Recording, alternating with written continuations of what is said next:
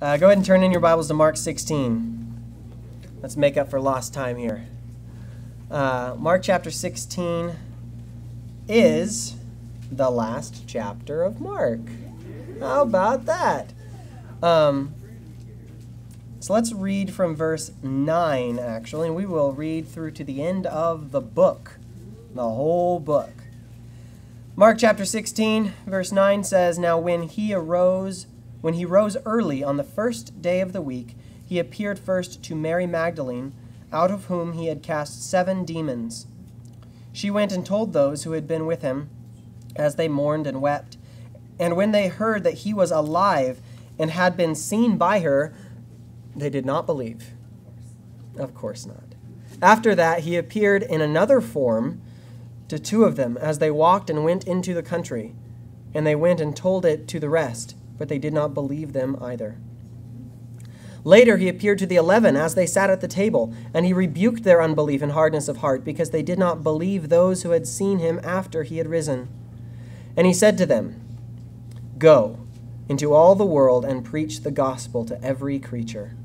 He who believes and is baptized will be saved, and he who does not believe will be condemned. And these signs will follow those who believe. In my name they will cast out demons, they will speak with new tongues, they will take up serpents, and if they drink anything deadly, it will by no means hurt them. They will lay hands on the sick, and they will recover. So then, after the Lord had spoken to them, he was received up into heaven and sat down at the right hand of God. And they went out and preached everywhere, the Lord working with them and confirming the word through the accompanying signs. Amen. Amen. Amen. Let's pray. God, we thank you for this word. We thank you for this um, this book we've been able to study for 80 weeks or so. We thank you for the happy ending. Uh, we thank you that this passage begins with a, a resurrected Savior. And we thank you that this is also a happy beginning, that it begins with the planting of the church and, and the preaching of the gospel to all nations. And we thank you that, that you've invited us to such a great work. We thank you for inviting us to uh, a church um, with a living Savior and a living King. And we thank you for uh, giving us this good work to do of preaching the gospel and spreading the gospel and doing what we can to have this gospel preached to, uh, to every creature in every nation. Bless our study of this passage. Uh, give us ears to hear and hearts to understand, and hearts that are willing to obey uh, whatever your Spirit would teach us this morning. We pray these things in Jesus' name and for his glory. Amen. So, coming to the last half of Mark chapter 16. Um, and this is actually a passage that causes some of the scholars in their ivory towers to, um, to bicker. This, this passage makes people argue. And uh, there's a disagreement about the authorship of the passage we just read. Um, I alluded to this debate last week, but if you weren't here, I'll fill you in. A lot of you weren't. Everyone was gone for Easter, but welcome back. Um, in the early manuscripts of the New Testament, um, Mark ends in verse 8 of chapter 16 um, with the empty tomb and the angel saying, He is not here, He is risen. Uh, the, the oldest complete Greek New Testament, which is called the Codex Sinaiticus, if you remember from that Bible class we did a while back, um, the Codex Sinaiticus, it ends with verse 8, but the rest of the page is carefully lined and prepared for, it seems like, the rest of the book. Um, so the oldest few copies don't have this. The majority of the ancient texts do have this passage. But some people see this as a problem, and, and those wishing to discredit the gospel, of course, see the last 12 verses as maybe, you know, a false addition put in in order to spread this rumor of the resurrection or something like that. So let's address this. I think this is interesting stuff. Um, first, I'd like you to notice that even if we finished the book with verse 8, and we, we didn't study the last 12 verses, uh, we still end with eyewitnesses of the resurrection. The tomb is empty, and the angel had declared to the women, He is not here, He is risen. Um, however, I'd like you to know that um, you don't have to leave off the last 12 verses. You don't have to question these last 12 verses. Should these be in my Bible? Well, yes. Um, there's a reason they didn't ask you what should go in the Bible and what shouldn't. we're going to study these passages along with the rest of the book, be, seeing them as inspired scripture. And it does seem, full disclosure, it does seem that these verses were not with the original story that Mark wrote. Um, either the last page of his document was lost, um, or he intentionally ended his part of the account with verse 8.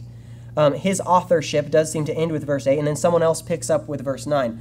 Um, like I said, the earliest manuscripts don't include these verses, and when you look at the, the passage in Greek, it has several phrases and, and words that don't appear anywhere else in Mark, that just don't really fit with his authorship. But I would like to point out that just because Mark didn't write it doesn't mean it's not inspired. Uh, Mark didn't write Matthew, Luke, or Romans either. Um, it's kind of that like uh, you hear people say that white chocolate, it's not real chocolate. It's like you're not supposed to. Well, white chocolate's not real chocolate. it's like well, neither are French fries, but it's still good. You know, it's like who cares if it's not real chocolate? So you know, it's, it's just there it is. So Mark the Mark nine through what is it, verse twenty is probably not written by Mark, uh, but it is inspired scripture. Um, you have this, this is a, a common thing even in books of the Bible. You have in the Old Testament what we call the books of Moses. Even Jesus refers to the authorship of Moses with the first five books of the Bible. And the fact that Moses wrote those books is pretty much universally accepted. Okay? However, you reach the end of the fifth book in De- Deuteronomy, and Moses dies. So, did he write that part? How did he pull that off? It seems likely that he left the last part of the pages blank and Joshua probably filled in the rest. And that's okay. It doesn't take away from the fact that those words were written by men as they were moved by the Holy Spirit. So the last verses of Mark, they are inspired scripture. They were well known uh, to the early church fathers, even quoted. Um, they even quoted from this ending of Mark as early as 100 AD. So, yes, your Bible is true. It's still accurate. It's complete. Mark 16, verse 9 through 20, has been accepted by the church since its authorship. This is just something I find interesting, but it need not shake your faith. Just know that we're changing gears in our book to a friend of Mark's. He filled in the rest, and this is his take on the end of the story. That seems to be what happened. Mark 9, or Mark 16, verse 9 says, Now when he arose on the first day of the week, he appeared first to Mary Magdalene, out of whom he had cast seven demons. She went and told those who had been with him, and they, as they mourned and wept. And when they heard that he was alive and had been seen by her, they did not believe. You can look at this passage uh, further in the Gospel of John. The other women went back away, uh, away from the tomb, but Mary, Mary Magdalene, stayed behind in the garden and asked a man who she thought was the gardener where they had put the body of Jesus. And that man, of course, was Jesus. And he said, Why don't you go tell him what, you, what you've seen? From what we, uh, we do know of the women who went to the tomb, Mary had the most storied past. Uh, she had seven demons cast out of her, it says. And you know, like I've said, you don't catch demons like you catch a cold. Uh, you got to be you're a pretty rotten person already if you've come that far. Um, she wasn't just the nice Christian church lady, um, but she loved Jesus. And she was the, the one who stayed back at the tomb the longest out of any of the women that came. And she was the one who was able to stay and see Christ and receive the marching orders for going and telling the disciples. Um, so she, she did. She went and told them she had seen Jesus, but they didn't believe. They were mourning, they were sorrowful. It probably seemed too good to be true on the one hand, and it probably just seemed too strange to be true. You know, why didn't they believe? Well, resurrection is unprecedented. Um, it, it's something phenomenal. It is something that requires a little bit of evidence for someone to believe. Okay? Um, we don't we don't really support the idea of a blind faith or the leap of faith as if you're just going to jump off a cliff and hope something catches you. That is not a Christian faith. Our faith is based on fact. And the disciples were it was okay that they, you know, would have wanted evidence. Mary got evidence. She saw Jesus. They got evidence before that. The angel had declared it to be true and they had the empty tomb. Evidence is fine. It's fine to look for evidence. The disciples hear this from a woman and they think you're probably just as emotional as we are right now. we don't believe you. So, on the one hand, I'd say we shouldn't be too hard on these 11 guys because resurrection is not an easy thing to believe in. And some evidence would be helpful. However, on the other hand, we have to realize that the disciples did have evidence at this time. They had two very important pieces of evidence. First, they had the prophecies of Jesus. Jesus said that he would die and rise again from the dead in three days. He said this in Mark 8, 9, and 10. Three chapters in a row. He says, I am going to die, but I'm not going to stay dead. That was evidence. They believed everything else he said, right? And the second piece of evidence would be the eyewitness accounts um, from Mary and the other women eventually of the empty tomb, the angel's declaration, and the risen Jesus himself. She saw him and touched him. So they had some evidence. Eyewitness, eyewitness accounts are worth a lot of evidence in a courtroom, right? So they don't believe yet. In verse 12 and 13, that gives another account um, that's more fully explained in Luke. We'll read it here. It says, After that, he appeared in another form to two of them as they walked and went into the country. And they went and told it to the rest, but they did not believe them either. Hmm. This is the uh, famous story of the disciples on the road to Emmaus. Okay? These two guys walking, they're sad because Jesus died and they expected him to be the Messiah. Jesus walks up alongside them and gives them the best Bible study ever given and explains to them in Scripture why the Christ needed to die and why they shouldn't have been surprised about that. Um, and then they say, why don't, why don't you come and eat with us? And he says, no, no, no, it's getting late. And he said, they say, no, it says they compelled him to stay. So he stays with them, and when they eat their meal, they break the bread, and it says, in the breaking of bread, he was made known to them.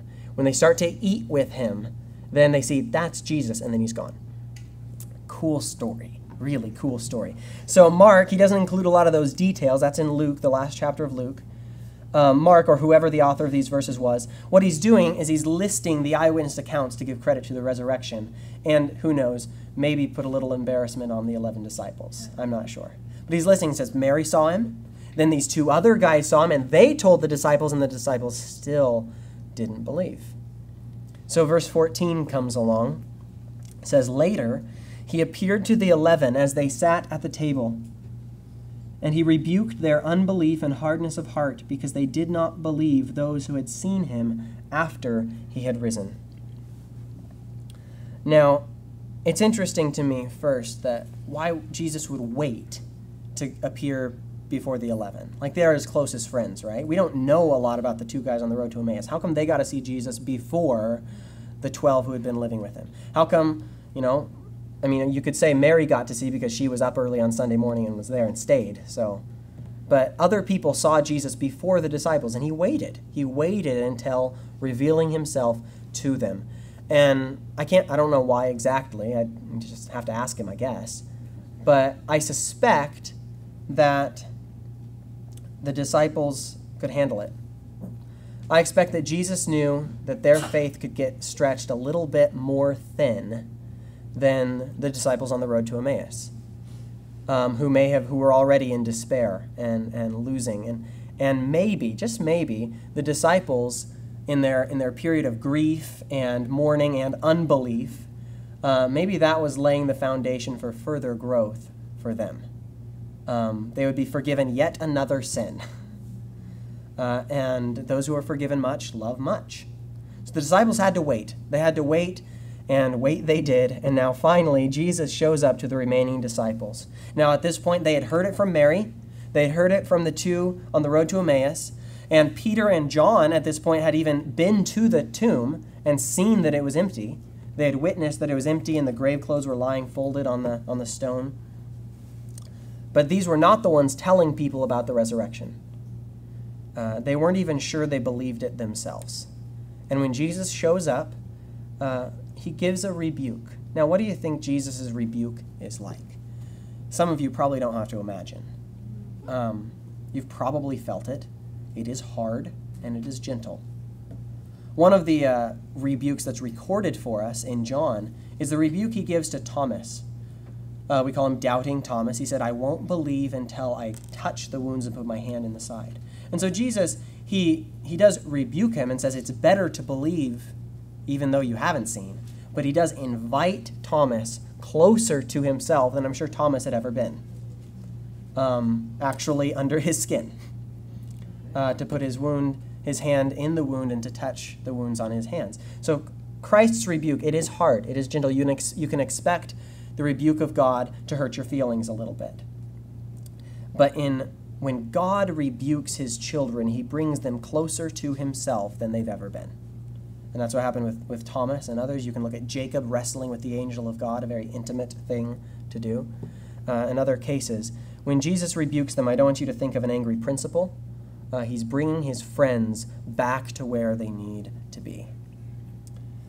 In between verse 14 and 15, there's actually a a passage of 40 days that we're missing here. Um, you can look at Acts chapter 1 for that, Acts, Acts 1 chapter, uh, chapter 1 verse 3. After Jesus rose from the dead, he stayed on the earth for 40 days and appeared to many, and one crowd as uh, 500 people at a time. Actually, 1 Corinthians 15 tells us. But after that period of 40 days, um, verse 15 happens, and the, the Great Commission, which we'll read, at an uh, unknown location, even though they've built churches where they figure they think it happened, but you really have no idea where it happened. Uh, right before Christ's ascension into heaven. And these next verses record um, really the famous last words. Um, not before death, but before departure.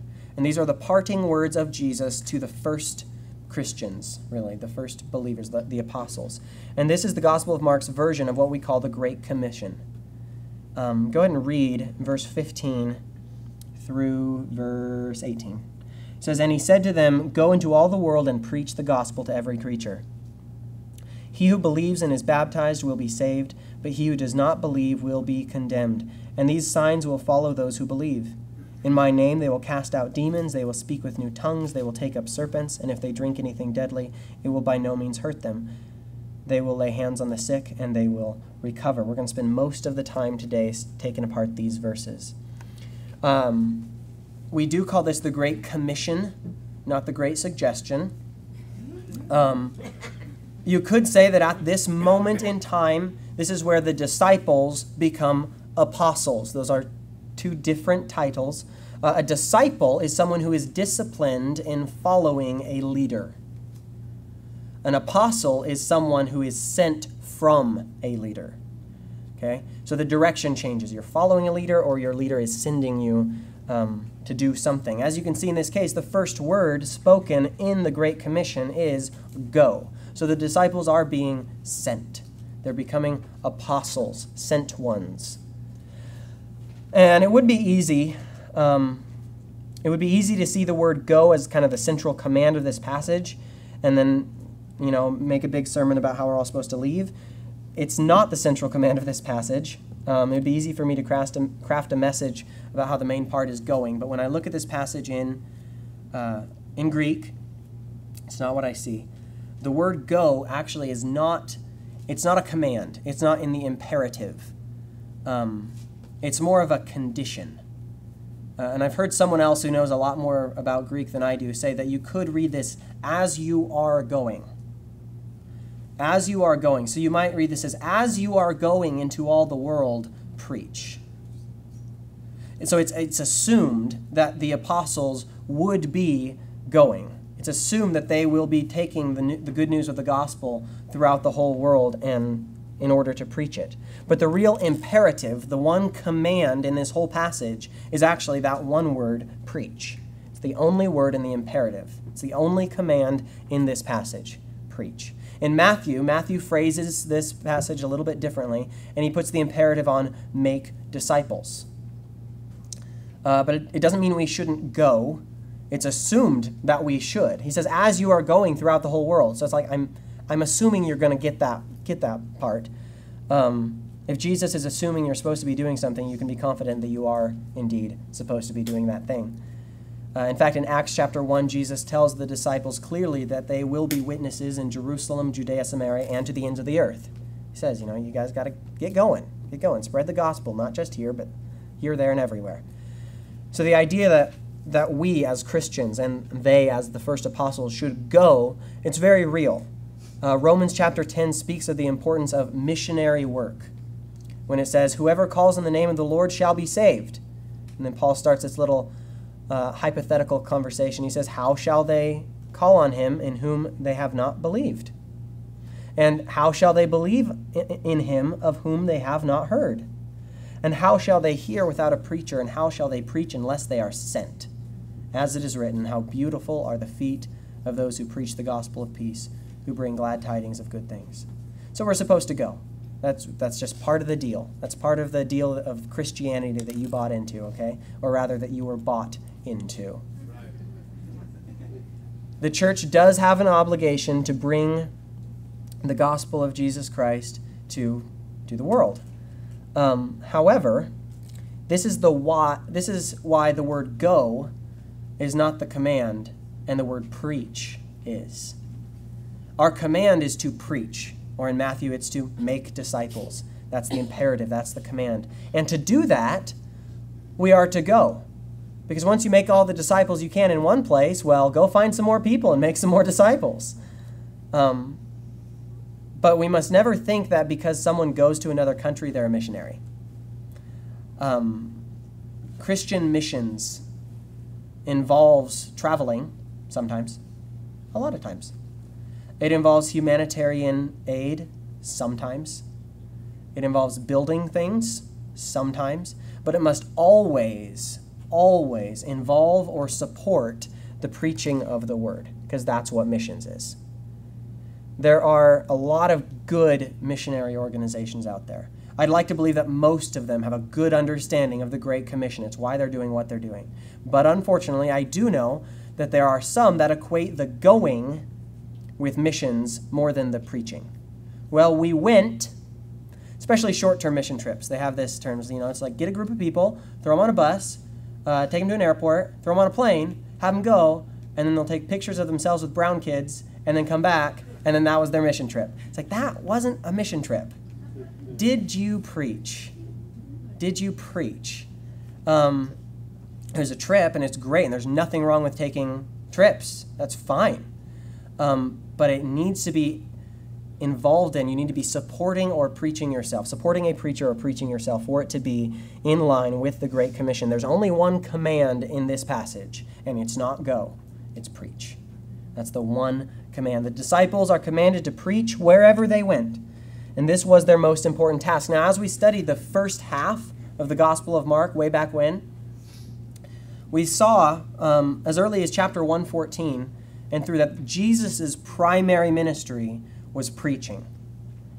Um, now, Mark actually has more hands on ministry, more healings and miracles and, and you know, service than a lot of the, a lot of the other gospels. There's only four um, than the other gospels. Uh, Mark includes Jesus serving people and loving people, but the miracles and the other aspects of his ministry are always done in support of his preaching. We saw that in, in the first half of Mark. And now Jesus is passing that baton, uh, and he, just as Jesus came to preach, he is sending his men out to preach in verse 15. It says, Jesus tells them to preach to every creature.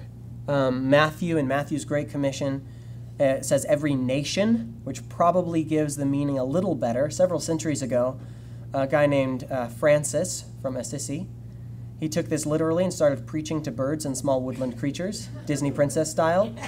Um, and uh, I don't recommend this method. Don't be Snow White. Um, but do be asking yourself how you can be bringing the gospel to all nations. Perhaps you should go yourself just to make sure the job gets done right. Just an idea. In verse 16 says he who believes and is baptized will be saved and he who does not believe will be condemned. I really like the way this verse is phrased because there's still there still has only been one command so far in what Jesus has said. In the whole section of red letters, there is still one command, and it's to preach. Verse 16 does not say, make people believe. And it does not say, make sure you baptize people a lot. It doesn't say save people, and it certainly doesn't say condemn people. It's not our business. That's not what the that's not the task that the disciples were given. All that stuff is out of our hands. Jesus is just saying that as you preach, and that's your job, as you evangelize and as you share good news of Jesus with friends, family, and complete strangers, those people will respond in one or two ways, and those responses have consequences, which are not up to you. However, Jesus does say that while the response isn't part of your job, it is an extremely important part of the job. He says very clearly that a person is either in or out depending on where they place their faith. And we'll get to the baptism part in a second because I want to give a few words on that, but just consider this with me for a second. The Christian faith is um, it's binary. Uh, not, not to mean that it's just zeros and ones and that's the only thing we preach, but binary just it's two, right? It's divided. Uh, it's an all or nothing venture. Um, and we have to acknowledge that those who believe will be saved. There's no saved ish. There's no like, I'm kind of saved. I feel saved today, but yesterday was rough. Um, tomorrow's not looking good either. Okay, you, if you believe, you will be saved. And those who do not believe will be condemned. And this is uncomfortable stuff. But it is what motivates the command to preach. We have positive motiv- motivation for preaching the gospel because we know that to be saved, that means a whole lot. It means a whole lot for us. We benefit from that. We know what that, right? It means we get an eternity of pleasure at the right hand of God. It means having every tear wiped away, no more pain, sorrow, regret. And before, before that, before eternity starts, before heaven starts, it means freedom from the curse of the law that we could never keep, freedom from the power of our flesh, and victory over sin and Satan. Being saved means a lot. In being saved, we get the Holy Spirit who produces love, joy, patience, kindness, goodness, faithfulness, gentleness, and self control in our lives. Who wants more of that? I know I do. Okay? That's a benefit of being saved. We have a positive motivation for sharing the gospel because the people you know, you know they have problems and you know the answer, right? In our midweek study, and I think I've said it on Sundays before, the, the boiled down sermon of all sermons is the problem is sin, the solution is Jesus. Okay? That's it. Remember that part. And we have a positive motivation because we have the solution. We, we see the problem, we can diagnose the problem, it's sin, and we have the solution, it's Jesus. So we have positive motivation for sharing the gospel. We also have what you might call negative motivation because those who do not believe will be condemned.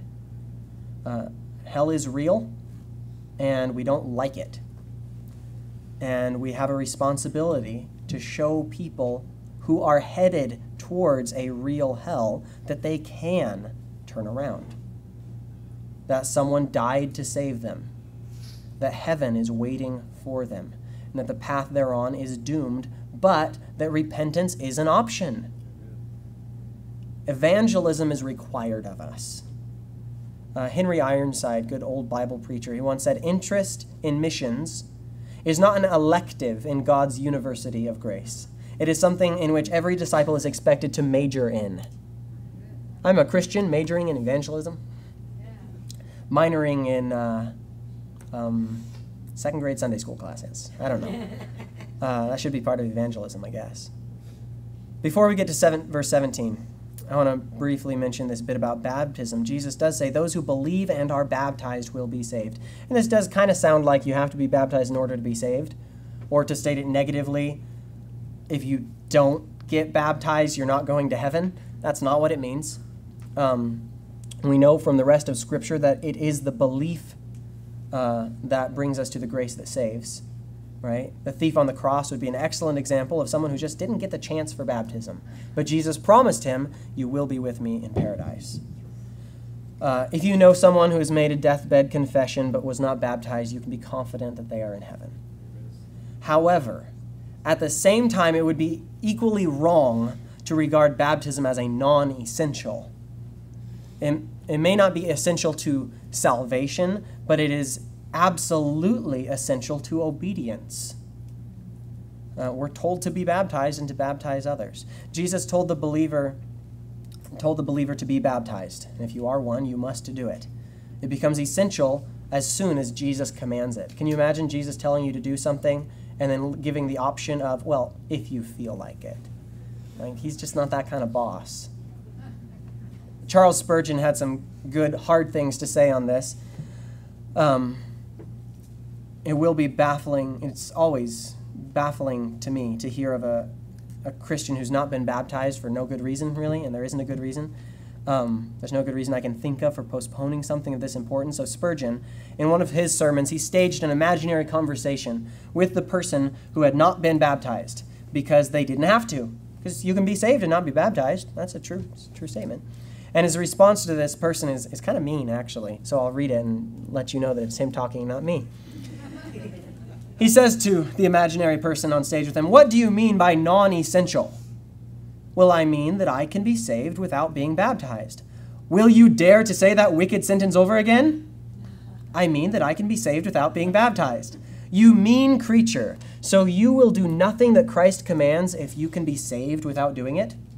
You are hardly worth saving at all. A man who always wants to be paid for what he does, whose one idea of religion is that he will do what is essential to his own salvation, only cares to save his own skin, and Christ may go where he likes. Clearly, you are no servant of his. You need to be saved from such a disreputable, miserable state of mind, and I pray the Lord save you. Go Charlie. If you go Charlie, exactly. Yeah. If you're if you're not interested in obeying your Savior, is He your Savior? Where's the evidence? Those words are strong, but please, if you are in this camp of, well, I don't have to, so I'm not going to, consider your disobedience, because that's what it is, and then reconsider, and then let's find some water. Verse 17, moving on. And these signs will follow those who believe. In my name they will cast out demons, they will speak with new tongues, they will take up serpents, and if they drink anything deadly, it will by no means hurt them. They will lay hands on the sick, and they will recover. All right, this covers a little bit of what the disciples can look forward to in their new ministry. They are not offered, you know, a corner office with a good with windows. Um, it would be extremely dangerous and extraordinarily strange, but they would be supernaturally protected. That's the idea of this passage. So we're going to cover each one of these things individually because uh, they're weird. Uh, but I want you to keep in mind that these are trials that will accompany the disciples while they are spreading the gospel throughout the world. Please don't think of these things as entertainment or showmanship. These are real dangers and real successes that real men have had as they have tried to obey the Lord's command to preach and to make disciples of all nations. Um, also, I'd like to point out the obvious, I, I hope the obvious, um, and say that these are not all tests of true faith. So I don't want you to think that, well, I'm not really a, a Christian unless I speak in tongues and pick up snakes. Mm, no. These aren't proofs of faith, and they're not even things that I would say you should seek after. Remember, there's one imperative, there's one command in this passage, and it's not to drink strychnine. Okay?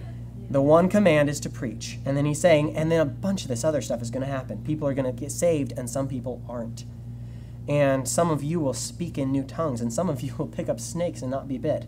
And some of you will heal people by putting your hands on them. It's going to be great. But your job is to preach. Just like it's not your job to save people or to condemn people, it's not up to you to see how many of these miracles you can perform. It's your job to preach it is to evangelize, it is to share the good news. And if you get really into your job of preaching, then some of these things might happen too. Who knows? First mentioned, the followers of Jesus would cast out demons. This is something Jesus did a lot of in his earthly ministry. And this is something the disciples did a lot of in spreading the gospel. And if you go to the right places to minister, this is something that you can, can certainly be encountered today. Uh, we do live in a world right now that has a spiritual element as well as a physical. Paul says in Ephesians chapter 6 that we wrestle not against flesh and blood, not against just the physical, but against principalities, against powers, against the rulers of the darkness of this age, against spiritual hosts of wickedness in the heavenly places. In other words, our main enemy in this fight we're fighting is a spiritual enemy and not a physical or political or any other kind of enemy. There are spiritual realities, and we fight against them. However, as Jesus says in Matthew 28 18, all authority has been given to him. which means that the demons that are working against the power of God and the spiritual darkness, the spiritual warfare that happens whenever we try to do something cool, they are fighting from a place of defeat, uh, while we are fighting from a place of victory. When the disciples would enter into regions where Jesus was unknown, they would encounter demonic opposition, but they would be victorious over it. James 4, verse 7 says, Resist the devil, and he will flee from you, because he's already lost. Next, it says that the followers of Jesus would speak in new tongues. And again, I would like to point out that this is not the evidence of a true believer, but rather something that would accompany the preaching of the gospel. Um, you see in Acts chapter 2, when the apostles are anointed with the Holy Spirit, and then all those around them in the city heard them preaching the gospel in their own languages. And they wondered, how can this be? How can I be hearing you know, this in my own language? Um, and the gospel was preached, and 3,000 people were saved. I don't want you to think that you need to fake speaking in tongues in order to prove the depth of your faith um, or your spirituality or something. Focus on the gospel and the spreading of it. If you want to hear more about the gift of speaking in tongues, which is slightly different than what happens in Acts chapter 2, then come to Bible study in two weeks. Um, we're going to talk about the gifts of the Spirit and the fruit of the Spirit and other spiritual things in pneumatology. In verse 18, things start to get weird if they weren't already. Um, they will take up serpents. Now, uh, you're probably familiar with the weird stories about strange churches in the Ozarks and the Appalachians that have the snake handling services and stuff. Man, I did some really heartbreaking research on that this week. Um, if it if people weren't so stupid, this would be comical. Let's go to church and play with rattlesnakes and drink poison. The Bible says it's okay. And then you die and say, Well, God wanted me to die. Yeah. No, no, no, no, no, no, no, no, no, no. Remember, the only imperative, the only command in this passage is to preach. The rest is, is circumstantial, really. This does not take away from the truth of the passage. In fact, we see clear fulfillment of Jesus' statement in Acts chapter 28. It's actually one of my kids' favorite Bible stories right now Paul and the snake bite. Paul was, uh, as he would say, a prisoner of Jesus Christ. He's being taken to Rome aboard a ship. The ship wrecks. They have to swim to the island of Malta. After swimming, everyone's wet and cold, right? So Paul, being the helpful guy that he was, is help is helping build a, a campfire. He's carrying a bundle of sticks, and a snake is in the sticks, comes out and bites him, and he shakes it off into the fire and isn't harmed. Um, as a result, the people of Malta had a more favorable view of Paul. At first, they thought he was a god. And because he didn't die and gained some fame, he was able to share the gospel with the leading citizen of the island and, and healed him of a disease, actually. So the sign, you see, the sign of the snake was to support the preaching of the gospel. The end game of that story is still the preaching of the gospel and the making of disciples. That was the point. It wasn't be like, ooh, look, snakes. Great, go to the zoo, not church. You know, do you think Paul wanted to get bit by a snake? Or do you think he was trying to prove something? Like, all right, everybody, watch this. No, of course not. I suppose the snake handling preachers, if they really wanted to get biblical, would allow themselves to get bit and then see how spiritual they are, since that is what Paul does in Scripture, after all. This bit about drinking poison is a little different as well, because uh, we don't actually have any New Testament examples of this sign. Uh, but that really just proves to us that these signs are not as important as some might think. Um, we never read of Paul or Peter or any other guy drinking poison. So the point of this passage is this God is taking care of his own. That's the point. The point of this passage is for the newly commissioned disciples to know that their task in taking the gospel to all nations will be dangerous. They're, if you're in a job where every now and then you have to get bit by a snake and drink poison, it's a dangerous job. He's saying, This is going to be rough, guys. This is going to be really rough. You will be persecuted, but you will be cared for until your work is done. Not only would they be cared for, but God would let them care for others. The passage continues and says, They will lay hands on the sick and they will recover. And again, this is something that Jesus did a lot of in conjunction with his preaching. He healed the sick, he cared for the sick. His disciples would too. And he believe, we believe that God can heal the sick and that he answers prayer and that we as Christians should care for the sick because Jesus did. There are many instances in the book of Acts of the disciples supernaturally healing the sick. But again, do not think of this as evidence of orthodoxy. Uh, do not expect this as a standalone ministry. Now, I believe that even healing, even that every healing exists for the glory of God. Uh, in Acts, men and women were healed, and then the believers were encouraged, and unbelievers were converted, and God received praise. And that's the point of the whole thing. There is a purpose in these things that is a heavenly purpose. And it goes, there's a purpose that always goes beyond the individual. Um, the preaching of the gospel is for every creature and for the glory of God. Verse 19, moving into the black letters now. So then, after the Lord had spoken to them, he was received up into heaven and sat down at the right hand of God. Now, that's a doctrinally packed verse, isn't it? Jesus ascended into heaven. He didn't stay here on earth. And he had told the disciples in John 16, verse 7 Nevertheless, I tell you the truth, it is to your advantage that I go away. For if I do not go away, the Helper will not come to you. That's the Holy Spirit. But if I depart, I will send him to you. So even though the disciples would have rather had Jesus stick around, he's a nice guy to have around, it was for their benefit that he went to the Father. For one thing, the future, the faith of future generations wouldn't be tied to a physical presence walking on this earth, but rather the working of the Holy Spirit in the church wherever it meets. We say that Jesus is with us. Physically, he is not. Uh, he has taken a seat at the right hand of the Father. And you know when it's time to sit down, right? It's when your job's done. You get to go home and sit down. And that's what Jesus did. He went home and he sat down because his work was done. His work was finished, and that gave the disciples, and it gives us, the basis for the work that's cut out for us. Jesus' work is done. We're just telling people that it's finished. Just the mailman here. Verse 20, last verse in the book. And they went out and preached everywhere, the Lord working with them and confirming the word throughout the accompanying signs. The disciples preached. They did what they were told. And you can see that the signs weren't from them, but for them. It was the Lord working with them, and it was the Lord that was confirming the word through the accompanying signs. This is the purpose of signs, of miracles, of supernatural stuff. It's not just so people can go, wow. It's so people can see that the Word of God is real and they can come to faith in Christ. So the disciples preached now, of course, the details for this book would fill another book. The details for this verse, excuse me, would fill another book, and it's called the book of Acts. It's right after John, right before Romans. Go ahead and read it. Uh, those men who j- saw Jesus go up into heaven started preaching, and then the people they preached to started preaching, and then people got saved, and those saved people started preaching, and it has not stopped yet.